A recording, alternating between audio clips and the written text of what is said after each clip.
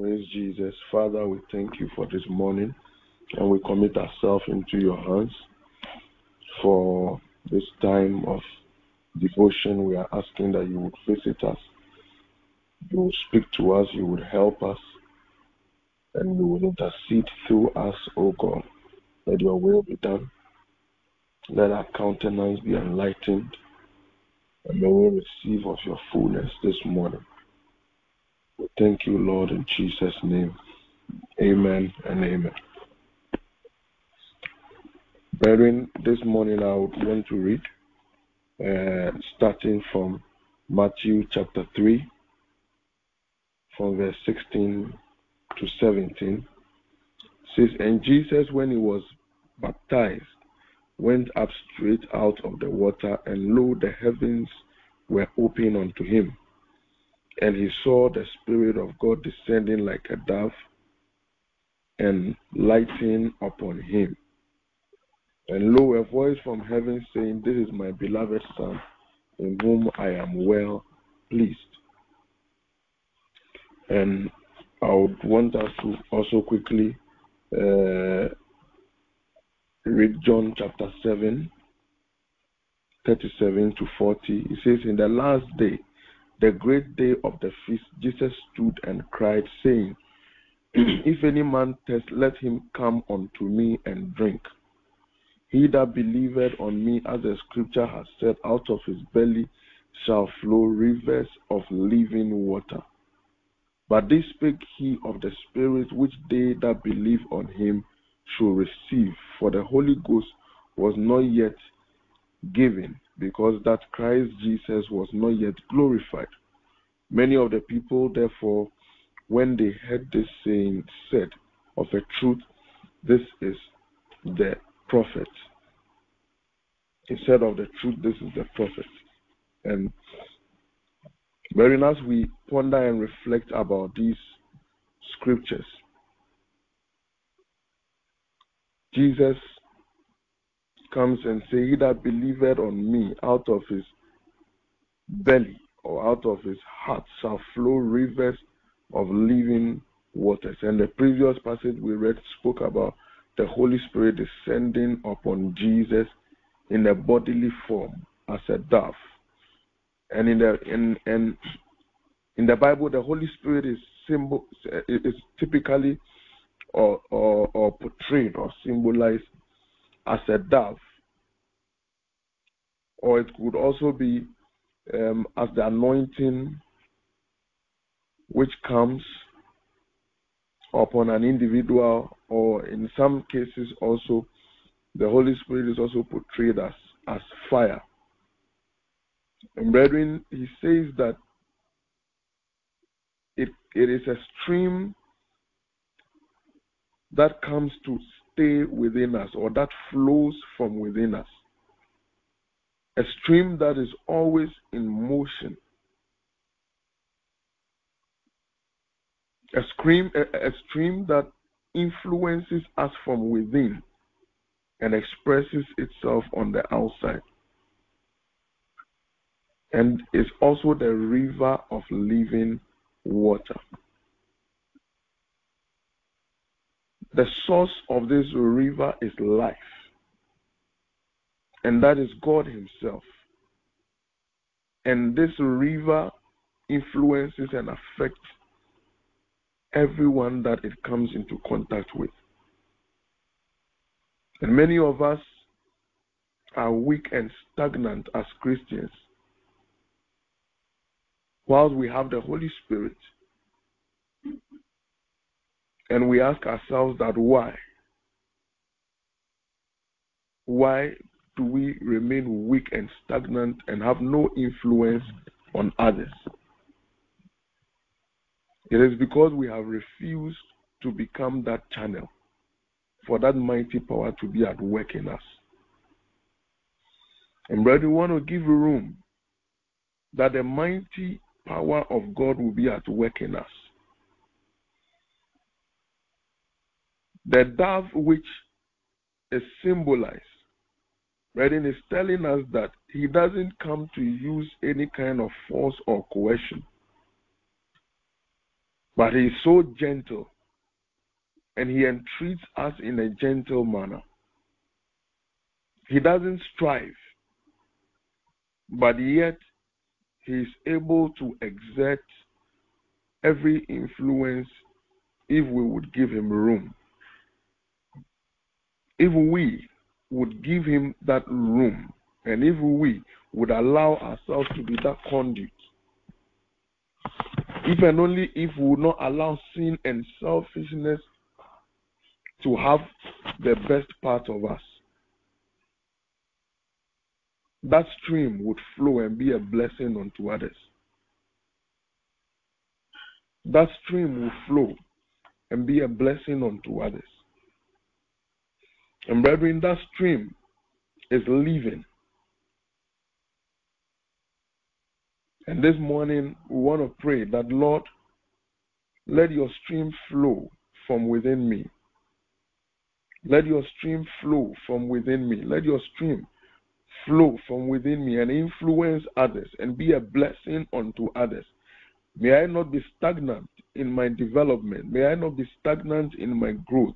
May I not be stagnant in my knowledge of the Lord. May I not be stagnant in, in any provision that the Lord has ordained for me. In the name of Jesus. Remember, in this promise of the Holy Spirit was was was was given unto all that believe on Christ Jesus, and He said, "Anyone that would believe, let him come after me." And if you and I have believed on Him, then, brethren, it is a promise unto us. In Acts chapter 2:38, Peter then said unto them, Repent and be ye baptized, every one of you, in the name of Jesus Christ, for the remission of sins, and ye shall receive the gift of the Holy Ghost. For the promise is unto you and unto your children, and all that are afar off, as many as the Lord our God shall call. This morning, a promise that is unto me I will not allow it to lie waste. A promise that is unto my children, I will not allow it to lie waste. And every provision that God has purposed and destined for me, I will not allow it to lie waste. It is a promise unto me and unto you. Brethren, there are some who received the miraculous gifts of God and the provisions of God. And all of us have received His grace unto salvation. And subsequently, He has promised unto us the gift of the Holy Ghost with all its provisions. And I believe that many of us have received this gift when we were baptized in the, in the Holy Ghost.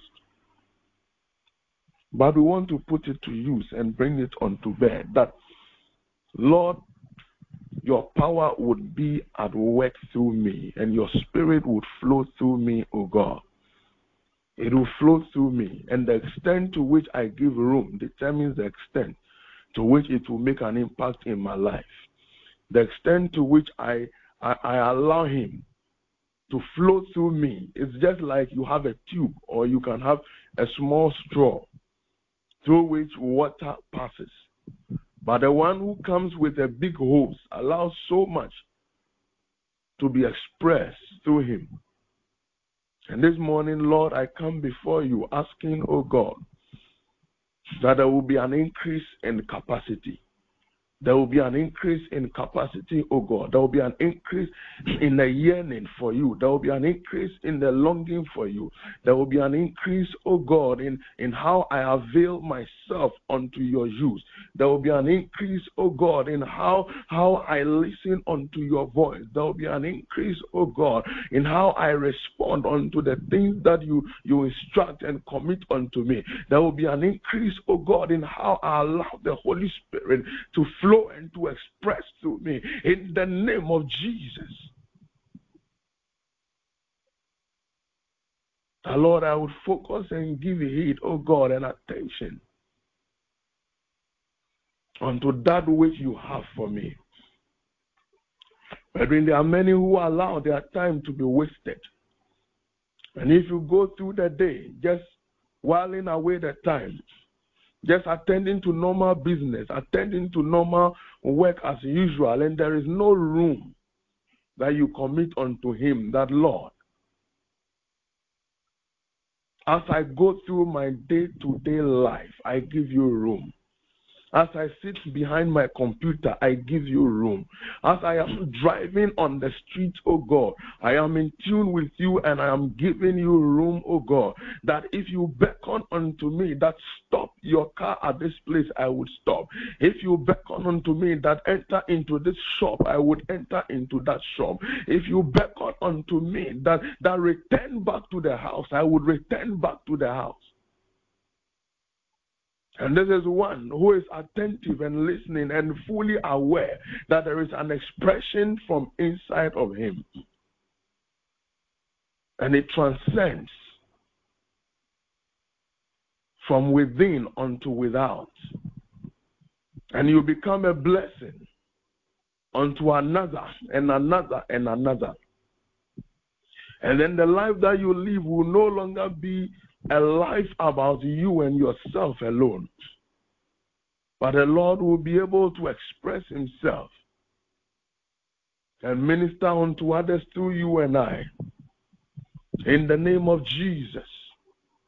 In the name of Jesus. Brethren, the things that limit us, the things that hinders us, the things that the things that that serves as a blockage and, and prevent the expression of the Holy Spirit from within us we would want to deal with them and give room and give way. That Lord, you said that sin shall not have dominion over us. And Lord, I declare, oh God, that every sin that is in my life would give way. Every sin that is in the life of our brethren, oh God, would give way. Every influences of the enemy, in the name of Jesus, will give way. Any any any voices, oh God, that that do not give glory unto your name, that that instructs us to turn to the left or to the right. Lord, we declare that it will give way, oh God, in the name of Jesus.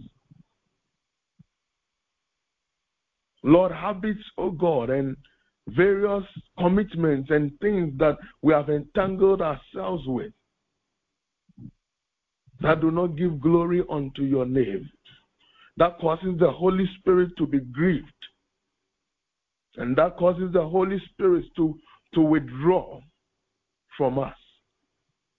This morning we are asking, oh God, that you will deliver us from them. You will hold up our hands, O God, and deliver us, O God, in the name of Jesus. Yes, Lord.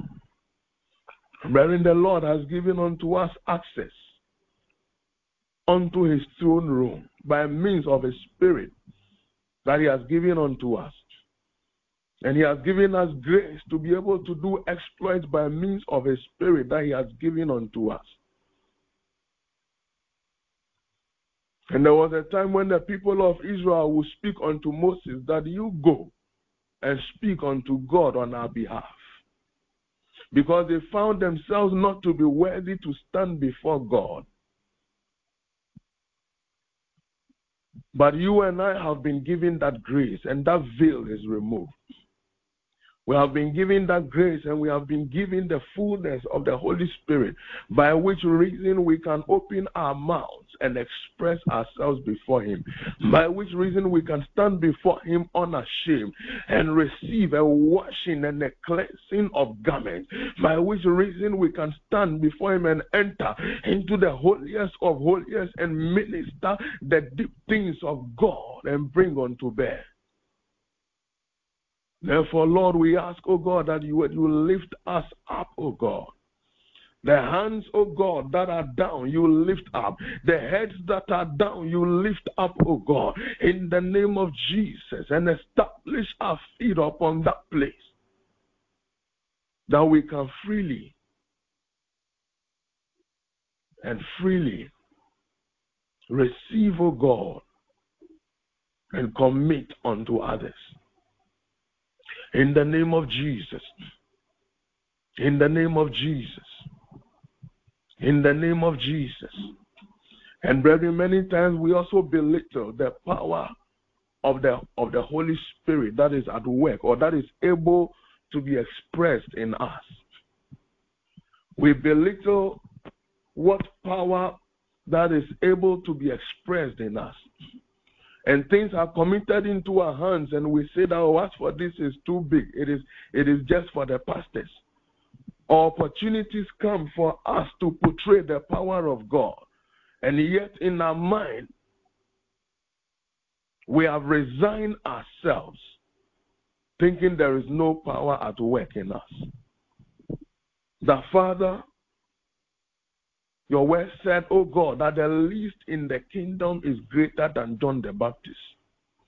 By means of your Holy Spirit and your power at work in us, May you cause us, O oh God, to stand in our rightful places, O oh God, in the name of Jesus, and not to give excuses for any reason, O God, in the name of Jesus. Every place, O God, where there has been threatenings, that, oh God, we have been perceiving ourselves, oh God, in a low manner where we have been perceiving ourselves to be like grasshoppers in the face of situations. Lord, we, we ask, oh God, for mercy, oh God, in the name of Jesus. In the name of Jesus. That we would see and behold what great power has been committed unto us in the name of Jesus.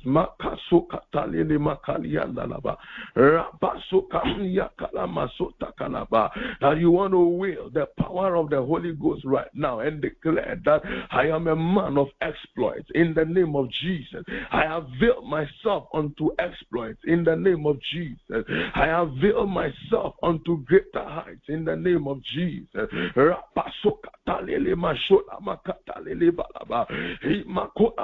In the name of Jesus, when Jesus received of the Holy Ghost, uh, he looked up and he saw that the heavens were open. Uh, brethren, he saw that yokes were broken. He saw that there was deliverance. He saw that there was unlimited access. Uh, in the name of Jesus, that Lord, as we have received of your Spirit, may we perceive, oh God, unlimited access May we perceive, oh God, unlimited power. May we perceive unlimited authority that has been committed unto us. We receive grace upon grace. We receive your might, oh God, and we receive your power, oh God, in the name of Jesus. And as we go through our day to day life, oh God, your spirit will freely express himself in us. And you said, All that test should come unto you. All that test should come unto you. And you would give the living water. Father, we come before you, O God, with diverse kinds of tests. Diverse kinds of tests. And we declare, O God, that your Holy Spirit will be at work to assuage and to quench every form of test in the name of Jesus. There is test, oh God, in, in, in various areas of our lives, and we receive grace, oh God. Uh, in the area of marriages, you will quench test, oh God. Uh, in the area of businesses, you will quench test, oh God. Uh, in the area of, of, of, of finances, you will quench test, oh God. in the name of Jesus. May you quench every test Lord, where there is a place of a test for healing. Lord, may you quench, oh God, that test for healing in the name of Jesus.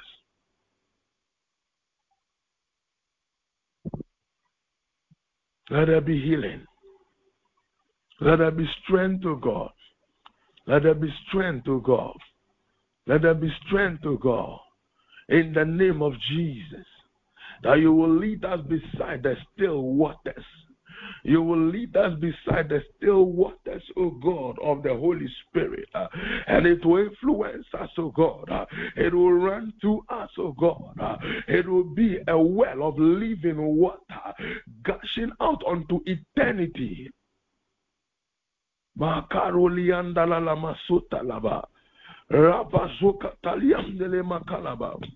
Brethren, it is not intended to flow for today and tomorrow.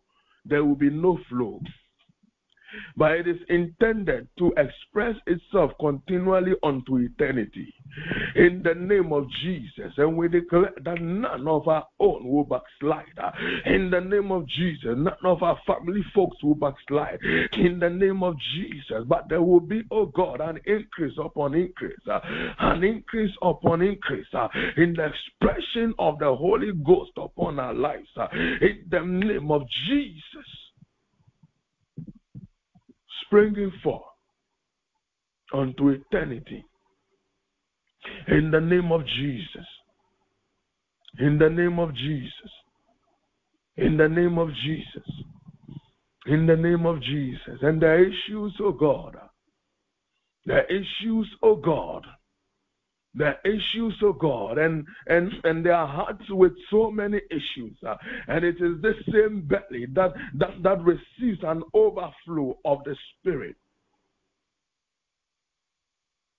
But we are declaring that that overflow would cause a settlement unto issues that overflow would override any kind of issues that clouds us, any kind of issues that weighs us down, any kind of issues uh, that makes us to be depressed, uh, any kind of issues uh, that takes away the glory of God, uh, in the name of Jesus. Let it overflow, O God. Let it overflow, O God. In the name of Jesus. Rapasola makatoli anda la makola baya. Repesole makatoli ande se makola baya. Rapabazole makala masota la makali anda la ba. You said we should not be drunk with wine wherein is in excess, uh, but be filled with the Holy Spirit. Uh, and we ask, oh God, that each one of us receive an infilling. Uh, each one of us receive an overflow in the name of Jesus. And may it, oh God, overflow and run to us in the name of Jesus. There will not be stagnation in the name of Jesus.